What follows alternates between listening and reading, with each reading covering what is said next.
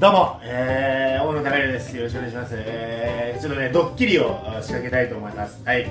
えー、美味しけこれドッキリなんですけど、今ね、伊佐野くんちょっとトイレに行ってるんで、ちょっと早めに言います。えー、実は、僕がゲイだったというドッキリを仕掛けたいと思います。はい。えー、まあね、ゲイ、ゲイっていう、こうね、コントでなんかいろいろ言ってきました。ふざけて言ってきました。でも本当にゲイなんだ。で、今回伊佐野優呼んだのは、伊佐野優と付き合いたいから。えー、伊佐野優と本当に付き合いたいから付き合ってくださいと告白をします。で無理。で途中からちょっと襲う襲いはそこまではいかないかもしれないですけどちょっと本当に強引に、うん、あの付き合う付き合いたいっていうそういう時。そしたらどう反どういう反応するか、えー、それを見ていただきたいと思います。けどもうもう多分書いてくると思いますのでちょっとこの辺で、えー、終わりたいと思います。ではいきます。お疲れです。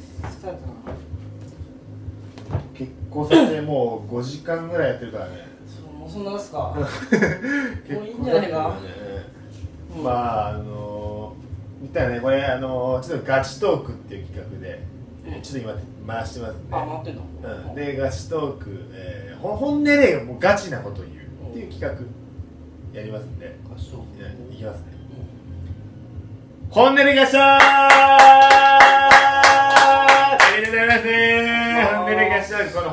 の本音でガチトークっていうのはもう本音。もんうんね本音しかないですう本音しかない本当にもう何でもある。ほうほうほう。えー、なあこうなもう早速、えー、いきたいと思うんですけど、ほうえー、実は僕、えうんうん。ー、ゲイです。あまあでもそれはあれでしょ？さっきまで撮ってたキャラとしてみたいな。ゲイです。え？はい。ごめんなさい、えー、本当にゲイなんですマジで言ってんの？えマジで言ってんの？はいあのいや別にそういう人を否定するわけじゃないからあれちょっなんだけど。とあのこのねガチトークっていう企画を使ってうん。本当にちょっとカミングアウトしようかなと思ったの。俺ずっと悩んでたんだけどいつカミングアウトしようかって。あ今日呼んでってこと？そう。はいはいはい本当にあそうなんだ。あの今まで27年間生きてきて、いつかカミングアウトしたいなと思ってて。うん。もうこのタイミングしかないかなと思ってちょっともう、うん言おうかなと思って本当にゲイなんですあそうなんだ。まあでも別に俺はそういう人否定するつもりもないしそう。で実はう伊佐の優がんうん。伊勢の優伊佐の優のことが好きです。嘘でしょ。本当に。本当に言ってんのそれ。はい。えなんかありがとう伊佐の優伊佐の優と付き合いたいと思ってるし。付き合いたいう。ん正直なこと言うとう伊佐の優と結婚できたらいいなと思ってる。ん結婚は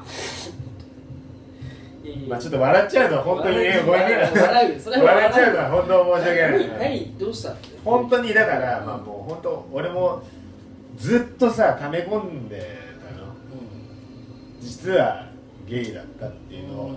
いつ言おうかなっていう。まあ見た目こんな感じちょっとゲイっぽいじゃん。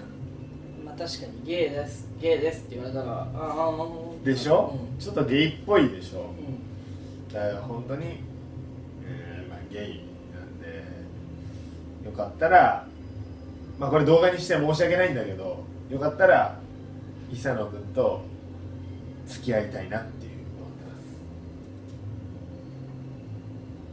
すどうでしょうか？すごいこと言っていい？え？すごいこと言っていい？すごいこと言っていい？何ちょっと待って。え？すごいこと言っていいってちょっと待って。何がいや。実は。実は？うん。うんどうしようか。何？びっくりした俺は本当に好きです。付き合ってください。俺本当はさ俺も実はそっち側の人間なんでえ？え？あの俺も本当はそっち側の人間で。そっち側の人間って何？そうだからゲがえ？どういうこと？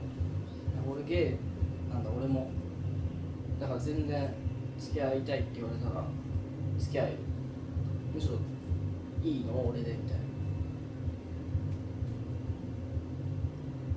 ちょっと待ってねえ何何松松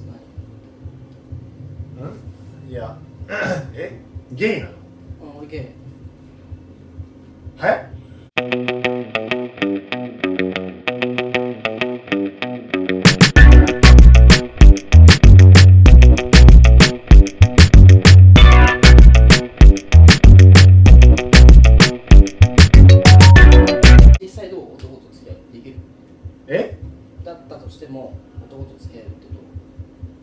男と付き合う？いや可愛い感じな顔してるから。まあイサの家は可愛い顔してるけど